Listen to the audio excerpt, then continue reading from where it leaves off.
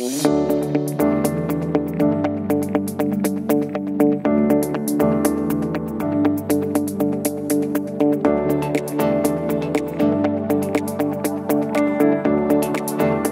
From RWTH Aachen University in Germany, we work as two institutes in Smart2B. It's the Institute for Future Energy Consumer Needs and Behavior and the Institute for Energy Efficient Buildings and Indoor Climate. And on the one hand, we do technical implementation. In Work Package 4, we do the local energy efficiency service, where we try to, to optimize the control of the local devices in terms of energy efficiency using model predictive control. And then we also look at user roles and uh, socioeconomic effects um, regarding gaming and, and nudging. So we try to improve the user engagement and user satisfaction with Smart2B platform.